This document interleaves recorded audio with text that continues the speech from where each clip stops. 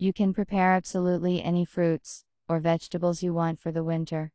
For example, I love grapes very much, and I can share with you an excellent and very simple way of cooking it. First, we need to rinse the grapes very well under running water and let them dry. Next, we put the grapes in pre sterilized jars. It can be lowered into the jar directly on a twig, or you can separate the berries. Add a few buds of star anise to each jar, and pour 100 grams of sugar. After that, the grapes must be filled with boiling water. Cover the jar with a lid, and put it in a preheated oven to 120 degrees for 23 27 minutes. After the time has elapsed, we close the jar tightly with a lid, turn it upside down, and leave it under the blanket until it cools completely.